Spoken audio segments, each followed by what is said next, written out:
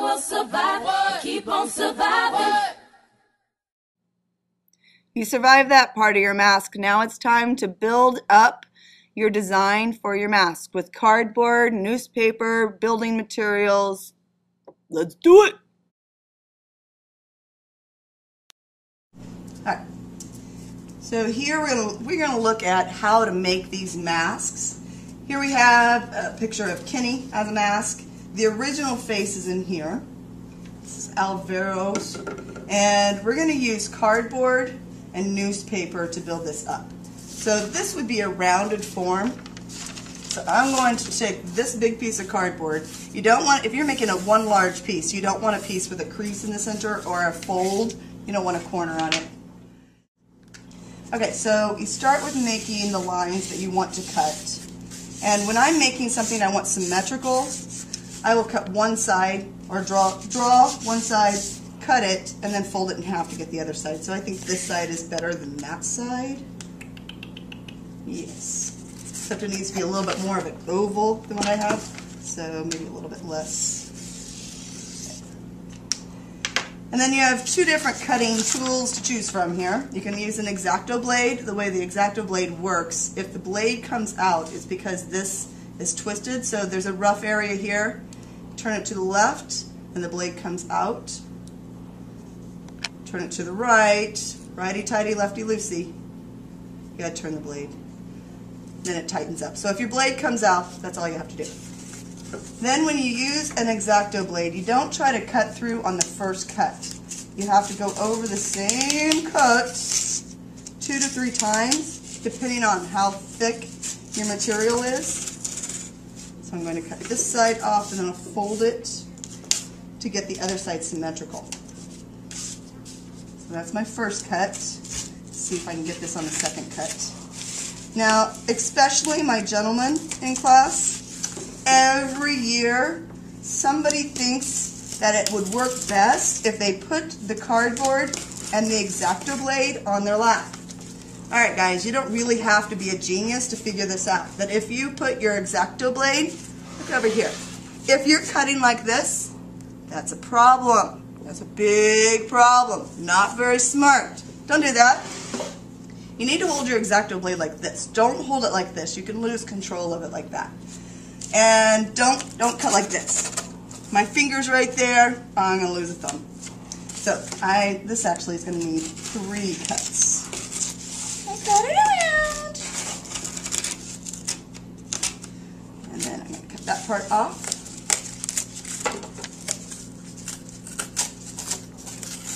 And then I'll fold it over to get it symmetrical. And then trace that side.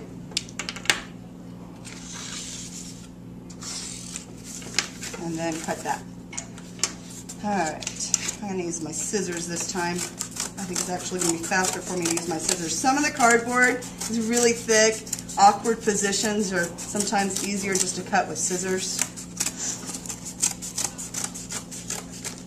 Then, we're going to round that out. So then I'm going to take my scissors and I'm going to make pleats. I'm going to cut in pleats. They're about an inch apart, these little wedges or little slits that I'm cutting in. And then I want to soften up my cardboard so I can round this out. So then I'm going to roll it up, start softening up that cardboard. Roll it up the other direction too. Yeah, hindsight being 2020, probably should have just rolled it up before I cut it, but whatever. It'll work. Okay, then to make this curve around, after I get it nice and bent up, I'm going to take my tube, and I like to make a whole bunch of little pieces on the table so that I don't have to stop and rip off the tape. Because it goes faster for me.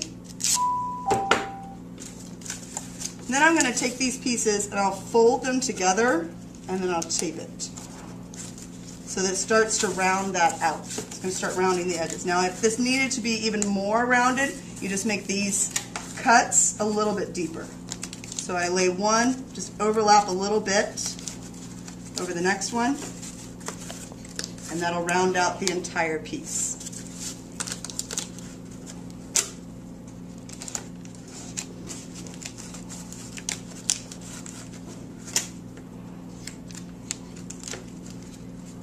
Then everywhere that you put, that you use cardboard, you're going to cover that with plaster gauze. You can use as much tape as you need to smooth things out to get them into shape. And then we'll plaster gauze over the top of that. Then once he gets the whole thing done, then he was going to lay his mask in the center and decide how much space he needs. So I would trace this. I would trace his mask on the back of it first to see what the overall shape is. And then he needs to decide how big a space he wants showing on the inside. He will cut that out. And when he cuts it out, he needs to leave a tab. Anywhere that you're putting a piece of cardboard, or yeah, anywhere you're putting a piece of cardboard on your mask, or a card, piece of cardboard attached to another piece of cardboard, you need to make yourself a little tab. So I'm not going to cut this all the way. I'm going to cut, and then I'm going to do these lines in again. I'm going to cut lines in so that I have a little tab to attach to. I understand that the uh, desire to take a shortcut with this X-Acto blade. I also understand that it hurts really bad when you cut yourself with an X-Acto blade. So follow my directions. And then I would bend it back till I got the shape that I wanted. And then I would have a space, I'd have these pieces here to put the hot glue on, and then I would attach that to the mask after I got that all cut out. Right, so that's basically his. And for the eyes on this one, he doesn't want you to be able to see his eyes, so what you do for the eyes is you take some window screen, take some, some cardboard, and you're going to make a little window out of the cardboard, the shape that you want your eyes to be. You put the window screen, this is a, oh, plastic kind of window screen. It's not the wire. The wire works fine too.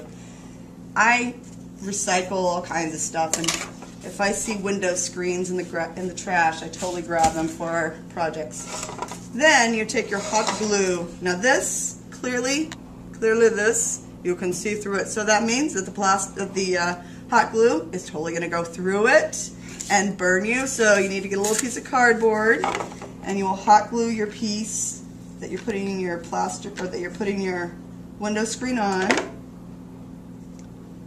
And then use that little piece of cardboard to flatten it on there. When you're using the hot glue gun, make sure that your hand is not, don't, don't try to hot glue something like this. Don't put your hand underneath and try to hot glue. If you do, the first thing you need to do is go to the sink and put your hand in cold water what you're going to want to do is peel it off. You, I know it's kind of counterintuitive, but you need to go to the sink and and get that in cold water, and then you can peel it off. Also, please do not make fun little designs on the table with your hot glue gun. That's wasteful. Also, don't burn the hot glue sticks that aren't in the glue gun because when you burn them, you ruin them. Alright, so then I would just hot glue that on where I wanted that shape. Then later he can paint this. He'll plaster gauze over this part, not the screen, but just this part. Then he can paint this and then blow out the paint on the negative spaces so he can see through it. For his eyes, he wants his eyes to pop out. So to make a sphere, take a piece of newspaper and you want to take two pieces the same size, wad it up, do not do this. See how much volume I get out of that one piece of paper? Okay, believe it or not, people actually try to do this. They try to fold up the paper to try to get the volume. I'm sorry. I should be more nice. I should be nicer about that, but th that's just dumb. Don't, don't do that.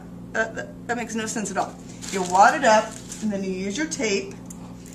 And anytime you're doing multiples, make sure you get both of them done before you glue anything on. You take your tape and you lightly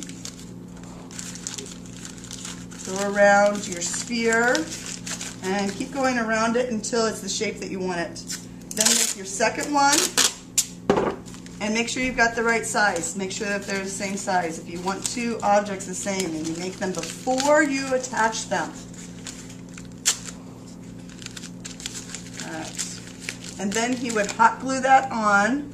I'm thinking that perhaps instead of right over the eye, he might want to put his eyes up here so that you can still see, he doesn't have to figure out how to see through this big sphere. Then you hot glue that on, cover that with plaster gauze. All right, that one. this one is mostly going to be cardboard. This is Nikki's. And we're going to start with a big piece of cardboard on this mask. Now, don't take a really big piece and cut a piece out of the middle of it. That's just a waste. Make sure that you're using the right size cardboard. Alright, so I need a piece at the top and two pieces at the bottom here. And I have to account for a little tab on there too. So I'm going to draw it on first. I'm going to draw the edge of the face first, edge of the mask. And then I'm going to draw on my triangle.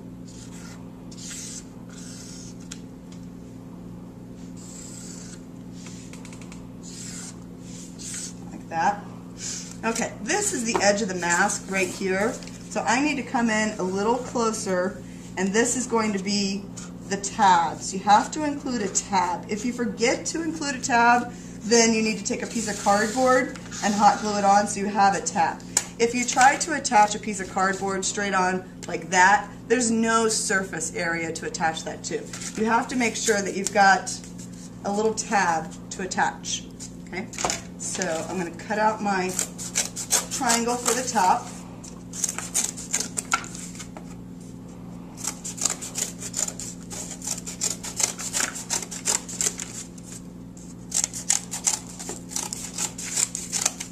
And then I'm going to cut out my tabs. Now, if you don't want to wear your mask, then the tabs can go on the inside of your mask. If you do want to wear your tab, don't put the, or if you do want to wear your mask, don't put the tabs on the inside because the, it won't be the same shape as your face. It won't fit your face exactly anymore. And then I cut my little lines up to make my tabs. And I'm going to fold those over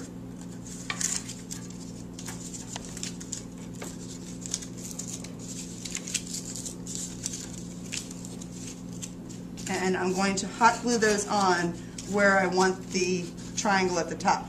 If I want the triangle at the top more tilted in, then I just move how I place my tabs. If I want it folded a little bit back, same thing. Now remember, you have to put it on the wall, so the back of it needs to be fairly flat. It could have a little bit of dimension, but it's going to be resting against the wall. Then I'm going to hot glue it. I glue on my triangle. If you make a mistake, you get something on there and you decide you don't like it, just take it off. It's not a big deal. Just be careful not to rip your mask. Okay, then for the bottom half, he needs two more triangles at the bottom. I would make one triangle, trace it, and then cut it out and make the other triangle. For his diamond at the top, and the diamond, he wants a big ruby right here. I would start with a diamond shape. and I want that symmetrical, so I'm going to fold that in half.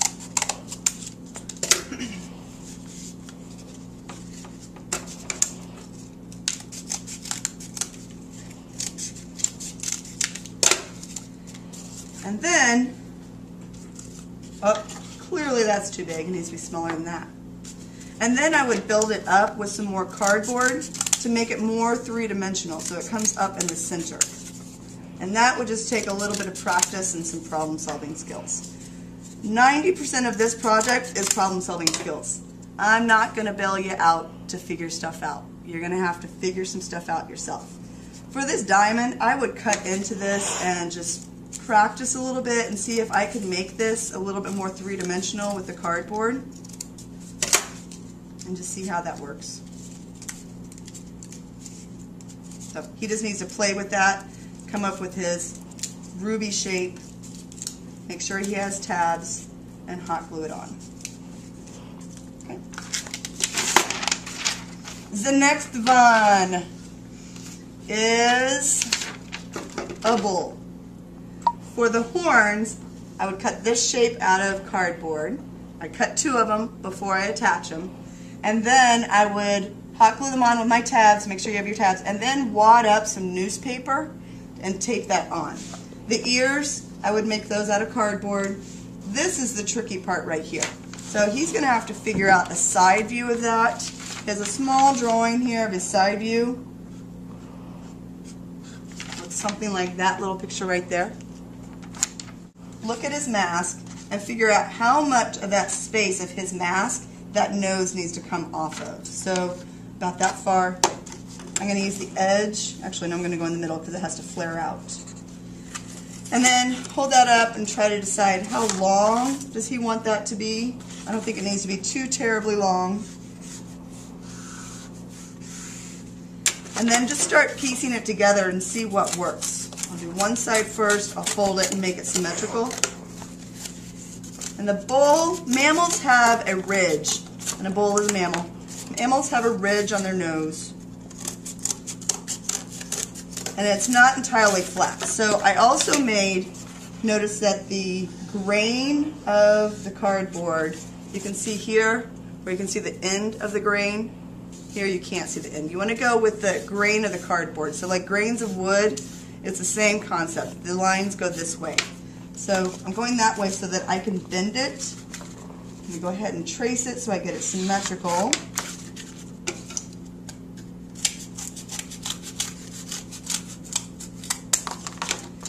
And then I'll bend it a little bit to make it a little bit more natural looking. And then place it on and start building up from there.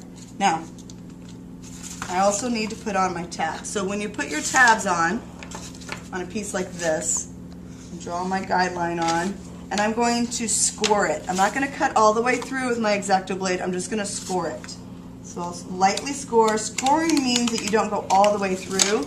You just cut one thin layer so that it bends easily. And I also need to cut in some pieces here so that it bends well for me. And then I would hot glue it, bend it, hot glue it on. Right about there.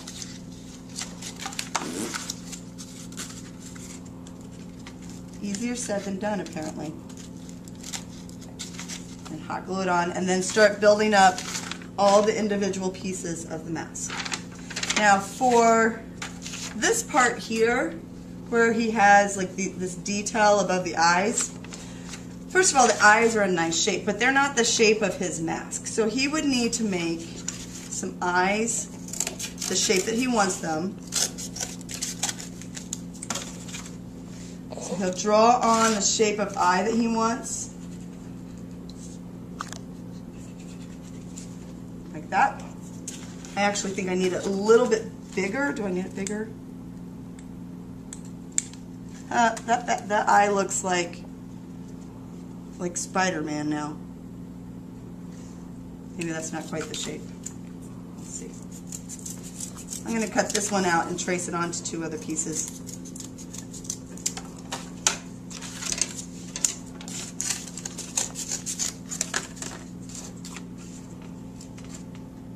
You want to look at the thickness of your cardboard too. The cardboard I'm using right now is pretty thick. I'm not sure if that's going to bend very well over the eye, so I'm going to find a slightly thinner piece. Might be a little bit more flexible.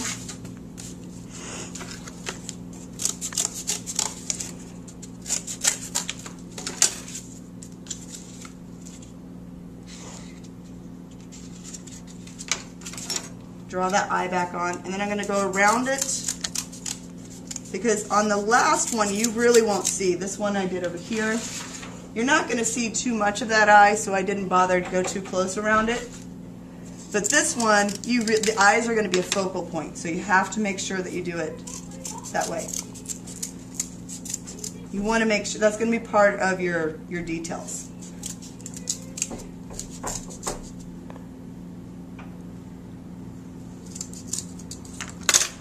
So then I would glue on a piece of wire mesh. I would cut two of these out first, glue on the, the wire mesh, and then glue those on in place. Then for the top part, up here, I would use a piece of newspaper and I would make both of these pieces at the same time. Now if this is too big, instead of starting all over, you could just try to squish it with some more tape and make it a little bit thinner. So let's go ahead and attach this side. So we're going to make him take this all off and trace it for the next side, for the other side. Sorry, Turnell. You thought you got, you thought you made a score there. Not so much. Okay, remember when you're hot gluing this wire mesh on, don't don't touch it. Don't touch the hot glue. And if you do touch the hot glue, go to the sink, get cold water on it, and then peel it off. Then I have burn cream if you need it. Do not play around with a hot glue gun. If there's one person at the hot glue station, don't go there. Don't crowd each other at the hot glue stations. I will have two hot glue stations for you. If there's something that you can do without hot glue, then go ahead and do something else with it instead. Alright, so there's the eye. And then I would hot glue this up here. It's starting to, to be hard to manipulate because I've got so much tape on it. Not that. Alright, then for little details like this, this right here, you would use plaster gauze to create that detail. And you can use it just like you use clay. So you get it wet, and then you just make a coil out of it, twist it up. You do need Elmer's glue because the wet plaster doesn't really work well on the dry plaster. Doesn't like to attach itself all the time. Sometimes it's okay, sometimes not. So use some Elmer's glue. Just put plenty of Elmer's glue on there and then attach your lines the way you want them. Like that. So you'll have a little bit of a ridge. You can do some really cool designs with that. If you're doing a Mardi Gras mask, something with a lot of squirrels on it, this is totally the way to do it. Okay, so you're going to use these materials. You're going to use cardboard and newspaper, recycled materials. If you were making a gas mask, then um, like a cat food can would be a good size for recycled materials. Tape and hot glue, those are going to be your major things. You can't tape or hot glue on wet materials, so don't try to hot glue anything that's wet. Tape, not going to be a good adhesive either. If you really think that it's wet and it needs to be attached, you could use Elmer's glue. Window screen for over the eyes. Wire, if you need to attach something with wire, let me show you how to do that. Alright, this one does not have something attached with wire, but let's pretend that it does. Alright, we're going to put on some little alien horns, or alien what antennae? That's it, antennae. So you'd make two of whatever it is that you want to hang off the edge.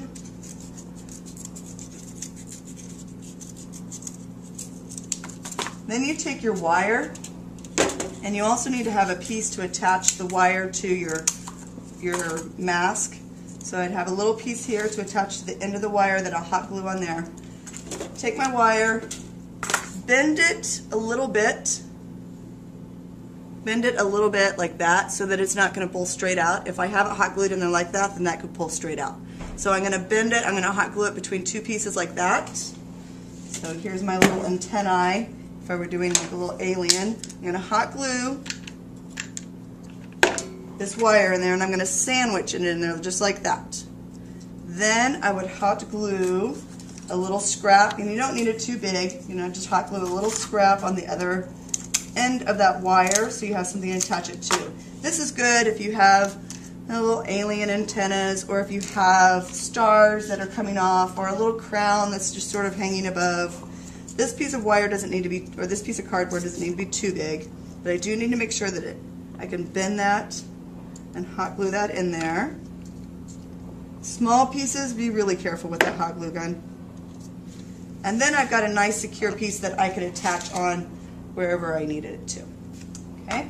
And then the plaster gauze, you're going to cover everything that you do with cardboard, you're going to cover all of that with plaster gauze. If you have little bitty pieces, like let's say you have a whole bunch of little planets all the way around your, your mask, you would make all these little pieces, plaster gauze them. You wouldn't need to plaster gauze this piece. I would attach that to your mask and then plaster gauze over that. So anywhere that you have cardboard, you're going to cover it with plaster gauze. Anywhere you have newspaper, you're going to cover it with plaster gauze. Also, your plaster gauze can be used for cool little details like so. All right, make sure that at all times your drawing is on your desk. I need for you to make sure that you have it diagrammed so that when I come up, I say, okay, how are you doing this? You can tell me. Well, see right here, I'm making that out of cardboard. So make sure that you have everything diagrammed. All right, be good, be great, be awesome.